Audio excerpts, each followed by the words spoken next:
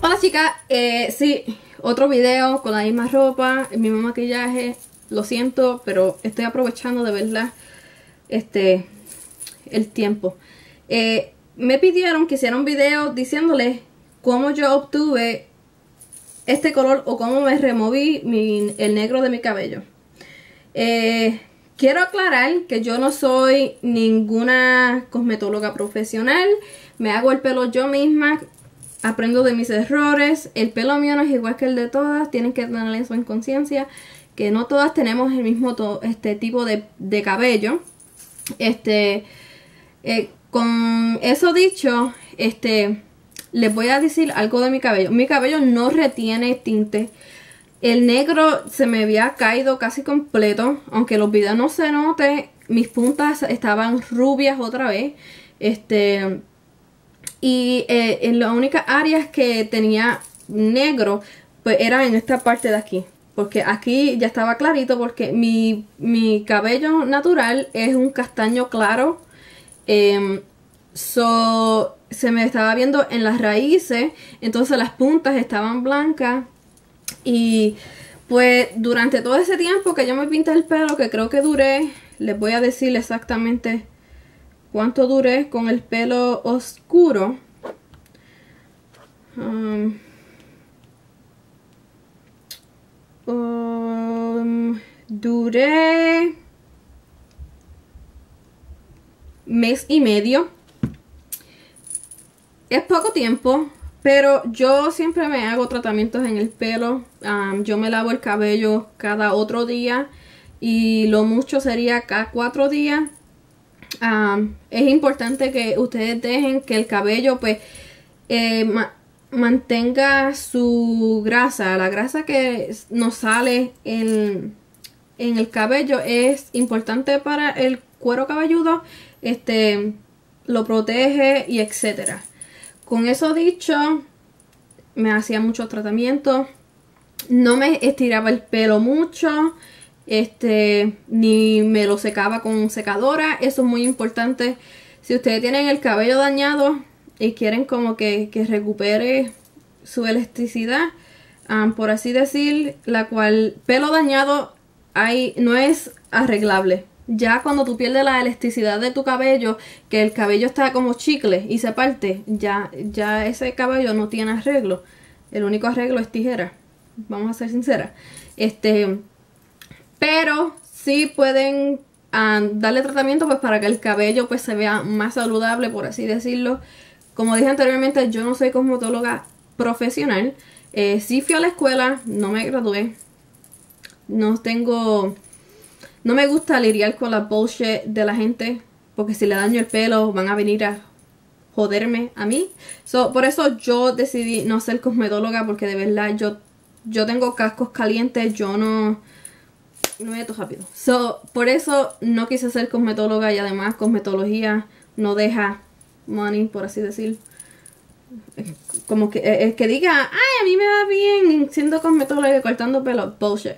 That's not, that's not true. So anyway, vamos al palo. Yo antes de darme, eh, de hacerme este procedimiento, yo no me lavé el pelo como por cuatro días. Dejé que mi cabello produciera la grasa que fuese a producir. Luego de eso,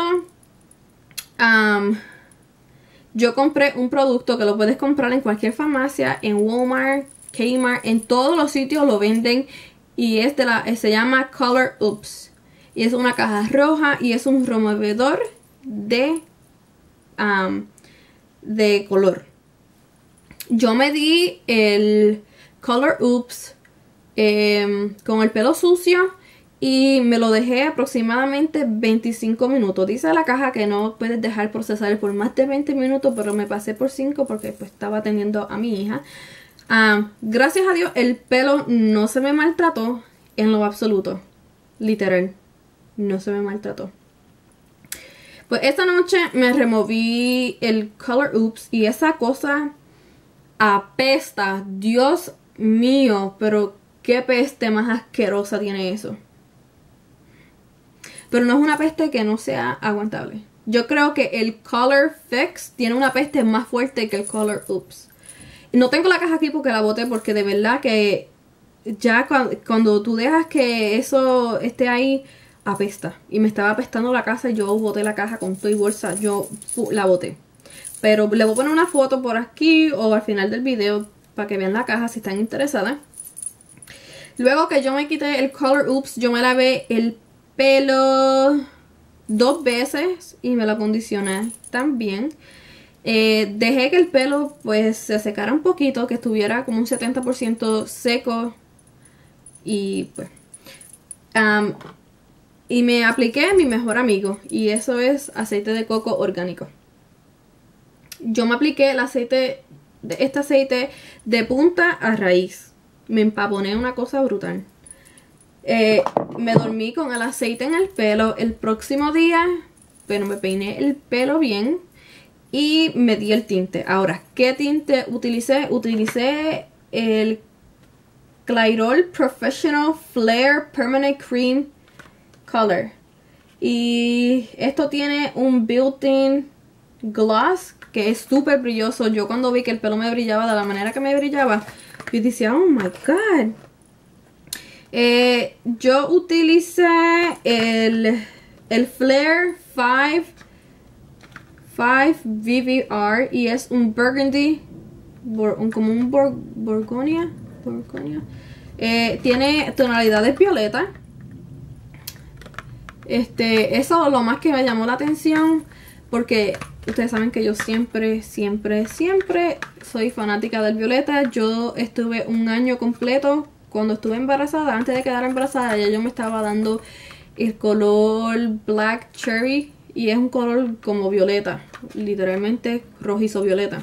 Entonces esto es un Intense Violet Red y esto cuesta $5.99 en Sally. Yo lo utilicé con peróxido 30 pues porque ya yo me había dejado este reposar el pelo este, con aceite de coco y el aceite de coco lo que hace es que deja, no deja que el pelo se te maltrate. Y si se te maltrata es bien mínimo pero a mí en este proceso no se me dañó el pelo gracias a Dios. Eh, eh, utilicé de la misma gama Flare, utilicé el peróxido 30 que es bien cremoso eh, si, lo, si usan el peróxido 30 o 20 o cualquiera de la gama Flare yo les sugiero que utilicen brocha, no utilicen botella, porque de verdad que es súper espeso y yo cometí el error de utilizar la botella.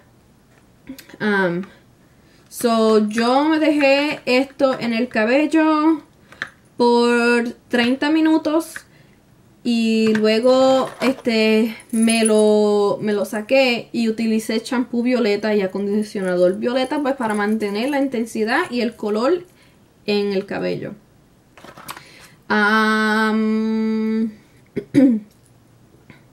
eso fue lo que yo hice luego que el pelo, que me lavé el pelo, me lo lavé dos veces con el champú violeta y me lo acondicioné una, me lo acondicioné una vez con el champú violeta.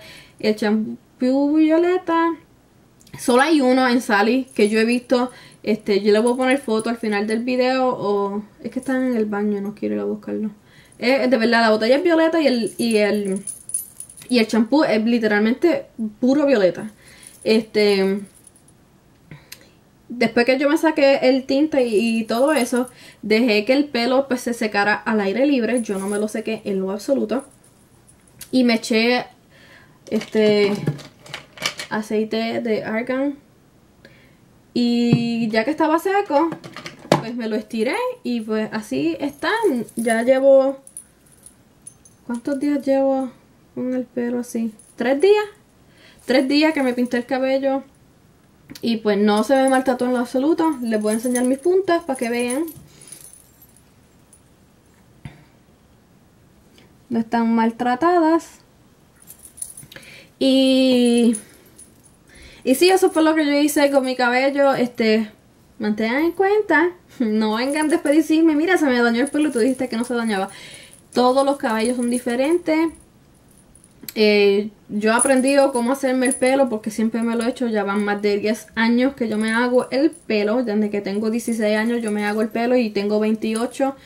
Y cada vez que yo voy a una profesional, y no estoy diciendo esto para ustedes que van a profesionales, eh, dejen de ir, pero por experiencia y malas experiencias que he tenido con personas que cortan el cabello, me han quemado el pelo, me han quitado más de 500 dólares en aclararme el pelo. De verdad que con el tiempo yo aprendí a cómo hacerme el pelo. Uno tiene que aprender este cómo es su cabello, a qué límite tú puedes llevar a tu cabello. Yo me he dañado el pelo se, bastantes veces. Y pues con esas veces que me he dañado el cabello he aprendido qué cosas tengo que hacer, qué cosas no puedo hacer. Y nada, espero que el video sea de su agrado y que haya ayudado a aquellas que estaban interesadas en saber cómo yo obtuve el color. Yo voy a tratar de sacarme un retrato afuera en el sol. Yo todavía no me he visto el pelo afuera en el sol porque todos estos días ha estado lloviendo y nublado y etcétera. no he podido pues, verme el cabello cómo se ve afuera. Este y nada, este todas las redes sociales van a estar en la cajita de información. Si tienen alguna pregunta o cualquier cosa, déjenmela saber y las voy a estar viendo en un próximo video. Bye.